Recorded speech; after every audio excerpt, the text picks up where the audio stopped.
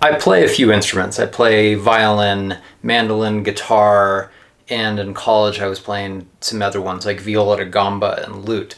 And I get asked a bit about playing many instruments. And people often are impressed when they see, oh, you're playing mandolin and you're playing fiddle in the same set. And it's really not that hard. This lesson in particular is going to be about playing mandolin for violin players. Since I grew up a classical violinist, I found it pretty easy to go to mandolin, especially in playing melody lines. The right hand took a little while and building chords took a little while. But for a violinist who is able to play solo works like uh, this stuff, you will be able to go to mandolin and play melodies, fiddle tunes, etc. pretty easily. Violin and mandolin have the same strings, or at least the same courses. G, D, A, E, G, D, A, E. Mandolin are doubled strings, violin are single strings. But they are the same notes, and it's roughly the same spacing.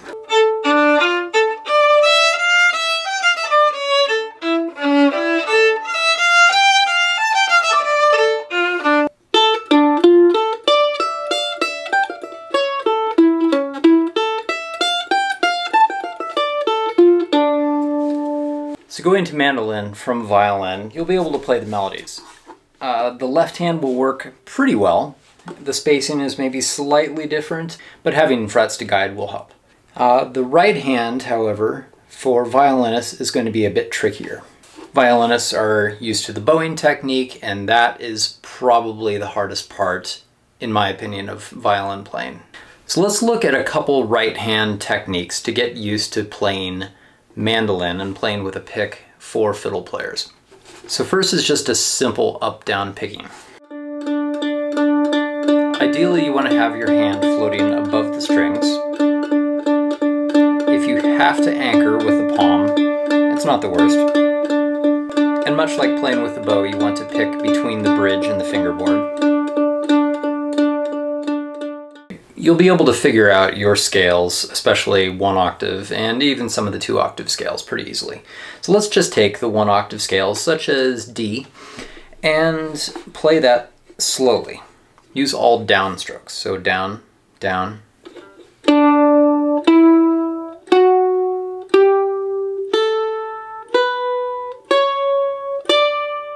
Having the frets is kind of like going back to your basics in violin and playing with tape.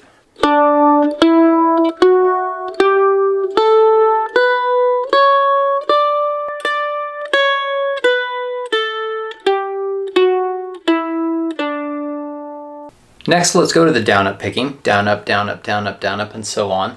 And we're going to play the same scale, but whereas we played quarter notes before, we'll play eighth notes now.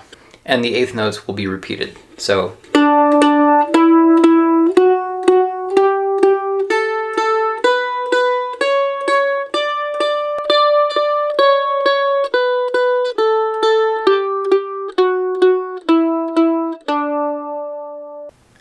of violinists won't remember their early days on violin since a lot of violinists start at the age of three or four.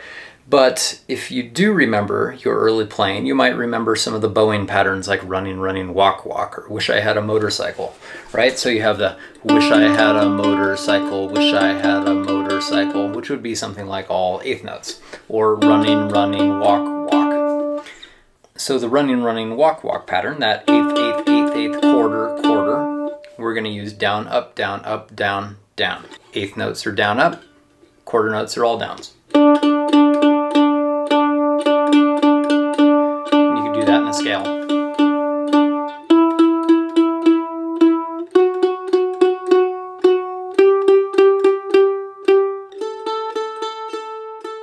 Or if you're going into it for some sort of folk music reason, such as bluegrass, you might be playing the bluegrass shuffle pattern, this down, down, up, down, down, up, down, down, up, down, down, up.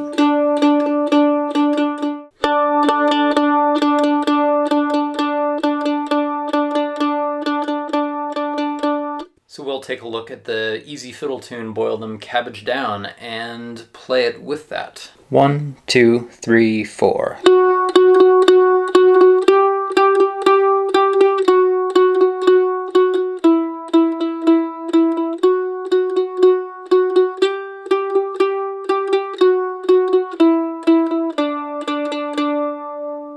That on all strings. On A,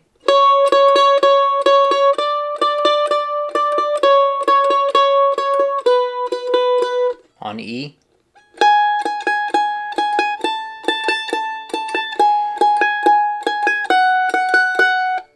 on G.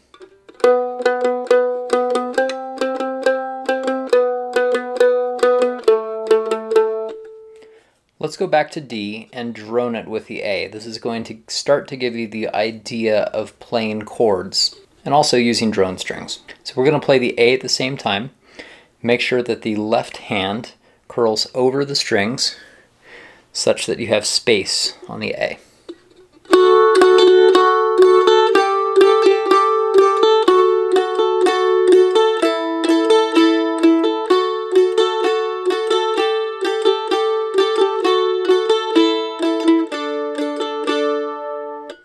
So let's go ahead and look at just a couple of the easy, easy chord patterns. Eventually on mandolin, you might be playing chords like this.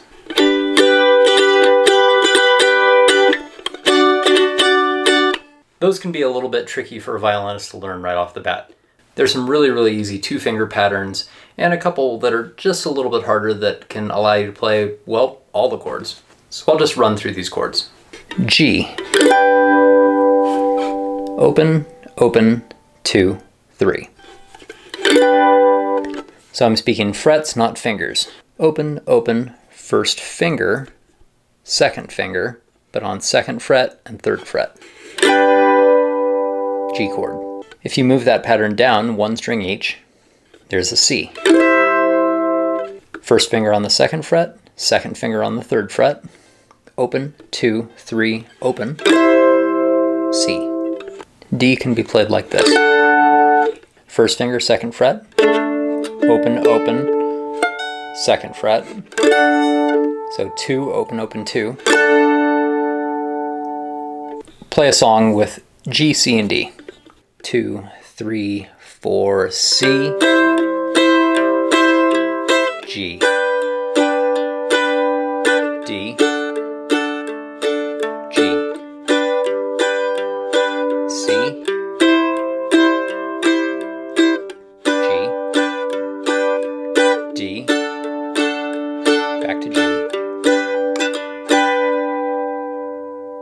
Chords like A minor or E minor can be played with just two fingers, although it might not be a true minor chord. It might be a modal chord as an A, which doesn't have a third.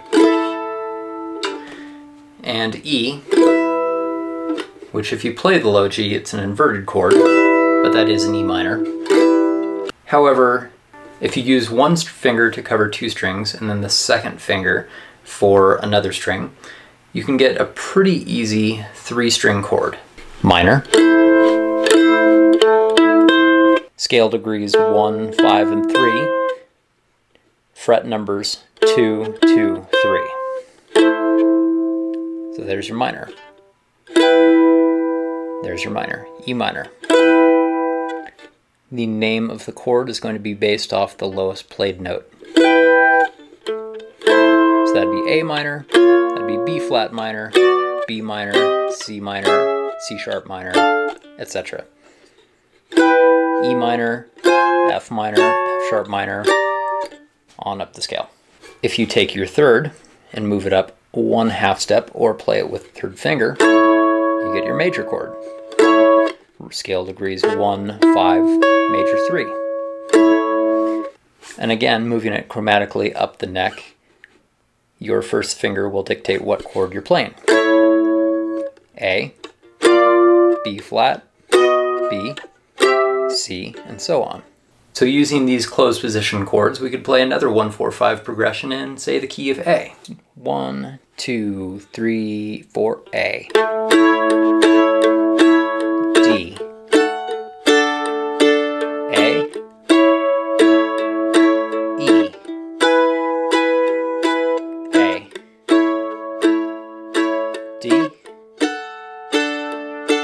A, E, A. Playing a folky sort of style music like bluegrass or Irish can be a little bit tricky for a classical violinist since a lot of us came from a background of playing sheet music, playing in orchestras and chamber groups. So armed with these simple tricks, you can get to playing pretty intermediate level mandolin in a hurry if you come from a violin background. Please subscribe for more mandolin lessons and guitar and violin. Check out some of the other videos like these for mandolin tunes. Thank you, and see you next time.